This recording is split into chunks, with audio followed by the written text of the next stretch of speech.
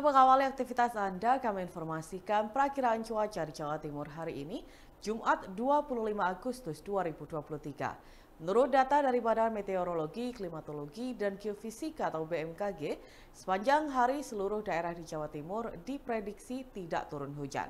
Cuaca akan bervariasi, mulai cerah hingga berawan tebal. Daerah terpanas di Jawa Timur dengan suhu maksimal 36 derajat Celcius jatuh pada wilayah Ngawi.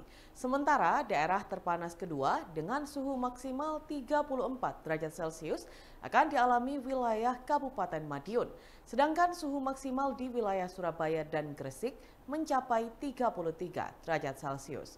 Selanjutnya daerah terdingin dengan suhu terendah 15 derajat Celcius jatuh pada daerah Batu. Kemudian daerah terdingin kedua dengan suhu terendah 17 derajat Celcius akan dialami wilayah kota Malang.